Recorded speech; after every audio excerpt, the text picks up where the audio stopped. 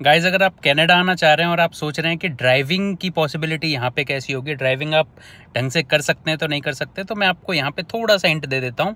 तो यहाँ पे होती है एक्चुअली राइट हैंड ड्राइव जैसे जनरली क्या होता है इंडिया में आप देखोगे तो इधर की तरफ़ ड्राइवर बैठता है और इधर की तरफ़ पैसेंजर सीट होती है। लेकिन यहाँ पर उल्टा होता है। यहाँ पर आप देखोगे इधर की तरफ़ ड्राइवर सीट है और इधर की तरफ़ पैसेंजर सीट है और इसको राइट हैंड ड्राइव इसलिए बोलते हैं क्योंकि ये मुझे कार चलानी है ना, वो अपने इधर चलानी है। तो हमेशा मैं इधर की साइड पे ही रहूँगा। जबकि इंडिया में आपको इधर बैठे होते हो तो आपको लेफ़्ट साइड में रहना होता है तो उसको लेफ़्ट हैंड ड्राइव बोलते हैं।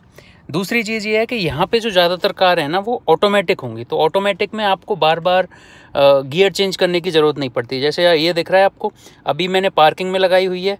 जैसे ही मैं रिवर्स में करूँगा तो ये पीछे चली जाएगी। न्यूट्रल में ये कुछ नहीं होता।